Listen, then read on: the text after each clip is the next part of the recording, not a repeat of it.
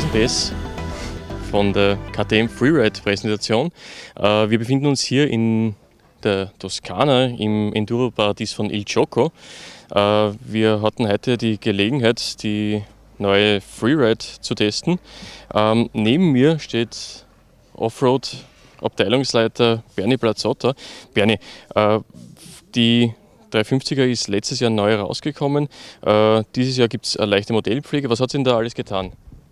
Ja, also wir haben hauptsächlich versucht, dass wir die Bremsen verbessern. Wir haben jetzt mehr oder weniger die, die gleichen Bremsen von, von der Technologie wie die Brembo auf die EXC. Also es hat sich extrem bewährt. Dann haben wir versucht, dass wir speziell für die Freeride einen neuen Reifen entwickeln. Im letzten Modell haben wir einfach einen Trailreifen äh, verwendet, der natürlich für, für die Freeride ein paar Nachteile hat.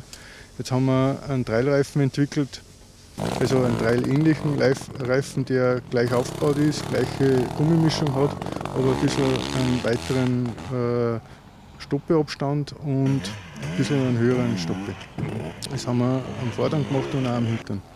Und das, glaube ich, ist einer von den Riesenvorteilen, äh, was man natürlich auch auf die alte draufbauen kann. Äh, des Weiteren haben wir jetzt ein Getriebe, das ein bisschen kürzer gestuft ist, die ersten fünf Gänge, und einen sechsten Overdrive. Also wir haben äh, Feedback gehabt, dass gern ein bisschen einen längeren sechsten Gang äh, gehabt hätten. Und äh, ein Dacho, wo die ganzen Kontroll Kontrolllampen jetzt integriert haben. Also er ist deutlich kleiner und kompakter. Ein bisschen mehr zusammengerannt. Mhm. Und auch schön übersichtlich, wenn man sie ja. Können. Äh, nur ein kleines Kompliment an die Reifen. Wir haben heute, glaube ich, weiß nicht, 25, 30 Leute oder sowas unterwegs gewesen. Und ich glaube, es hat keinen einzigen Platten gegeben. Und das bei dem ganz arg steinigen Gelände. Ja, ja normalerweise, also bei der Offroad-Präsentation haben wir relativ oft äh, Schlauch tauschen müssen und, und so, wie es heute war, ist ja, kein einziger mit einem Platten heimgekommen. Ja. Okay, gut. Äh, spannen wir die Leute nicht länger auf die Folter. Äh, 350er gibt es aber Neuigkeiten, komplett neu, ist aber das Motorrad, das wir da drüben sehen. Äh, die Freeride 250. Ähm, dazu mal kurz ein bisschen was. Ist es einfach ein Freeride, äh, in das ihr einen, einen Motor von einer 250er XC reinduscht habt oder hat sich da ein bisschen mehr getan? Oder Erzähl mir ein bisschen was bitte. Naja, also wir haben einen speziellen Motor entwickelt, also der keine Auslaufsteuerung mehr hat, also der, äh, sage ich jetzt einmal, zwischen einer EXC und einem Trailmotor ist, von der Charakteristik, aber die Vorteile von einem Trailmotor äh, bieten soll. Äh, dann haben wir einen Kickstarter wegreduziert, dadurch haben wir ein Kilo Gewicht gespart eben durch die ganze Steuerung. In Summe haben wir zwei Kilo Gewicht gespart. Wir haben einen neuen Elektrostarter äh, implementiert, der ein bisschen höher Draht, damit es eben schön anspringt. Äh, dann ein Auspuffsystem, das speziell äh, für einen sage mal, unteren Drehzahlbereich bis mittleren Drehzahlbereich äh, die gewünschte Leistung bringt, weil wir haben ihm gesagt, ja, wir brauchen keinen, keinen Zweitakter, der dann über 10.000 Draht oder 12.000. Also wir haben jetzt äh, knapp unter 9.000 Umdrehungen und das ist völlig ausreichend.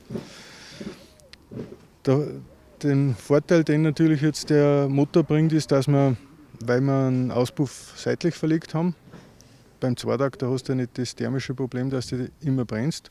Äh, hast natürlich beim Zweitakter jetzt die Möglichkeit gehabt, dass du den Rahmen unten deutlich äh, nach oben ziehst und dadurch haben wir 6 cm mehr Bodenfreiheit, was speziell für so ein Gelände oder wenn's, also wo viel Steine haben oder über einen Baum drüber äh, ein Riesenvorteil ist.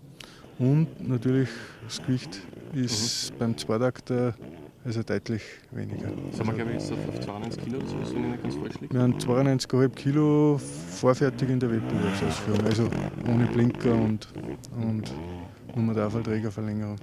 Der Vorteil von Zweitakmotor ist, glaube ich, auch, dass der Zylinderkopf glaube ich, nicht so hoch ist und damit einen besseren Tank verbauen hat können. Oder? Genau, also das sind, äh, also auf der einen Seite ist die, die Hächen vom, vom Zylinder und Zylinderkopf und auf der anderen Seite die Position vom Drosselklappenkörper beim Viertakter ist relativ hoch, der Vergaser ist ziemlich weit unten, dadurch kann man den Tank deutlich weiter nach unten ziehen. Äh, was auf der einen Seite für das Tankvolumen äh, positiv war, äh, aber auch für die, Luftfüttergröße. Also der Luftfütter, die Patron ist ungefähr doppelt so groß oder doppelt so lang wie der vom Viertakter. Ähm, Barney, darf ich fragen, wann kommen die zwei Geräte jetzt auf den Markt?